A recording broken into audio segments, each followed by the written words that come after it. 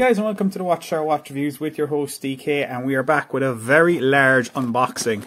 So this, normally I'd have some set dressing, I'd have my Opinel knife for opening stuff up, I might have Yoda up here somewhere, might have another watch down here, but uh, yeah I don't really have room for that because this packet is massive. So this came to me by way of Watches with George. George is a very good friend of mine and he decided he was going to send me on some stuff to unbox and to do reviews on, which was very kind. Uh, George, I'm sure you're watching and if you are, thanks very much.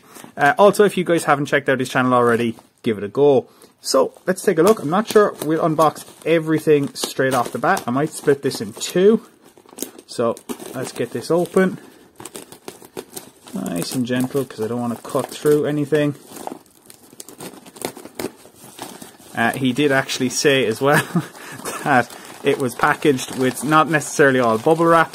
Some of it is with uh, kids' colouring books. So literally hours of entertainment to be had in this packet. Watches and colouring books and uh, some fun facts about tapirs. So yeah, tapirs love a good swim and they make a honking noise and they are apparently stripy. There you go. So not only watches today, you're actually getting facts as well and some information. Nice one, George. Uh, I'll have a read of that later, I'm sure. so, what have we got inside? So, traditional Heimdallr packaging, you can see there. Try and focus in. There we go. Heimdallr, white little cardboard packaging on the outside. Black cardboard box. Quite resilient cardboard box with the little shark logo. And I'm guessing that's Heimdallr in Chinese. Let's take a look at which one we have. Oh, it's the monster. So yeah, I saw this on George's channel. I saw it on a couple of people's channels actually. And I was very tempted to get it, actually. I ended up getting the Heimdallr SKX homage instead. But it's a really nice watch. I really like the blue on this, actually. Wasn't sure about the bezel, but now that I've seen it, it's pretty interesting. Let's take a look and see how grippy it is. Very grippy. Feels like 120 click bezel. Let's see, does it line up? Looks like it does, bang on actually. Very nice. Interesting looking bracelet as well. Uh, similar actually to another one that I have, not by Heimdallr though. Folded, or machined clasp I should say, sorry. With double pusher, security, three micro adjusts, signed Heimdallr clasp. Signed crown, no as per usual, and signed case back all stainless steel. I'll go through it fully in the review, of course. see how... Ooh, that crown is actually...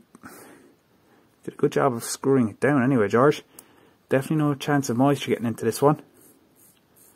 Nice to wind, although I'm not so sure about these uh, these crown guards. They're a bit sort of pokey. They kind of poke me in the thumb as I turn it. Yeah, not so sure about that one. But love the overall look of the watch.